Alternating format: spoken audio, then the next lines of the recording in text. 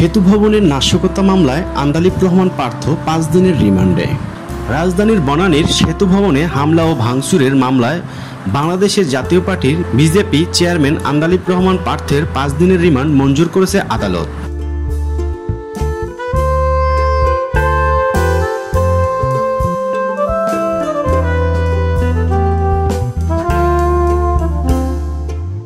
পুলিশের আবেদনের পরিপ্রেক্ষিতে শুনানি নিয়ে ঢাকার অতিরিক্ত chief metropolitan magistrate Sultan Sohag Uddin আজ বৃহস্পতিবার এ আদেশ দেন।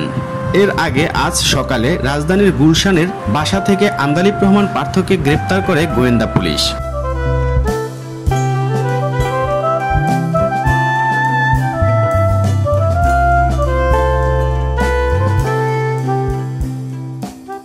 সাবেক এই সংসদ সদস্যকে মহাখালীতে সেতু ভবনে হামলা চালিয়ে ভাঙচুর ও অগ্নিসংযোগের মামলায় গ্রেপ্তার করা হয় বলে ঢাকা মহানগর পুলিশের গোয়েন্দা বিভাগের উপকমিশনার জয়নুল আবদিন জানিয়েছেন।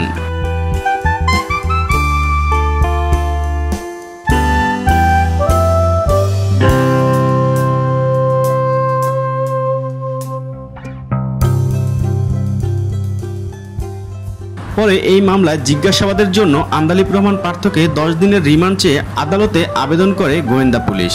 শুনানি নিয়ে বিচারক তার পাঁচ দিনের রিমান্ড মঞ্জুর করেন।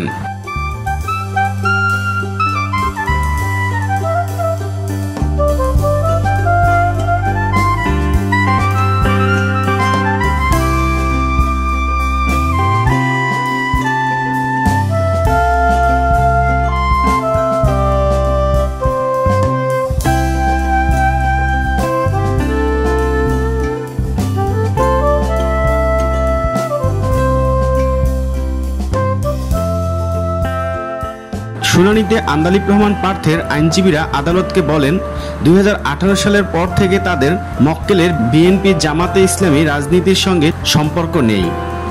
সেতু ভবনের নাশকতার সঙ্গে তার সংশ্লিষ্টতার প্রশ্নই ওঠে না।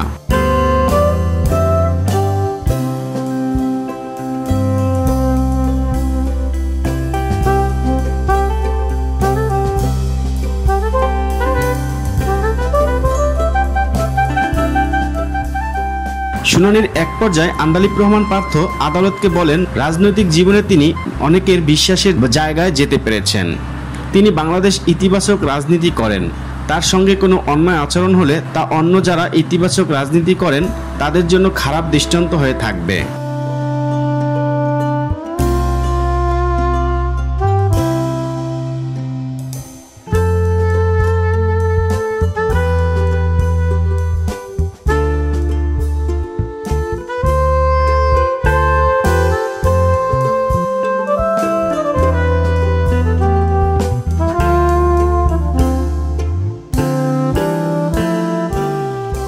কোটা সংস্কার আন্দোলন ঘিরে ঢাকাসহ দেশের বিভিন্ন জায়গায় হামলা, ভাঙচুর, সংঘর্ষ ও অগ্নিসংযোগের ঘটনা ঘটে। সেতু ভবনে দুই দিন হামলা চালিয়ে অর্ধশতাধিক গাড়িতে আগুন দেওয়া হয়। আগুনে পুড়িয়ে দেওয়া হয় অফিস ভবনও। নাশকতার এসব ঘটনায় দেশজুড়ে গ্রেপ্তার অভিযান চালাচ্ছে আইনশৃঙ্খলা রক্ষাকারী বাহিনী।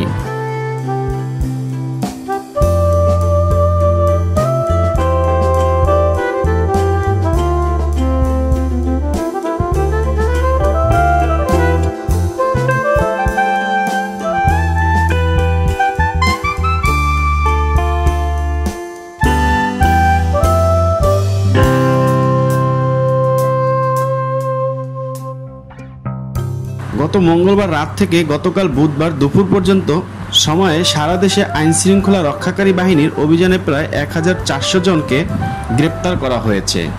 এর মধ্যে রাজধানী ঢাকায় গ্রেপ্তার করা হয়েছে ছয়শো একচল্লিশ জনকে। গত আট দিনে সারা দেশে গ্রেপ্তারের সংখ্যা দাঁড়িয়েছে প্রায় সাড়ে চার হাজার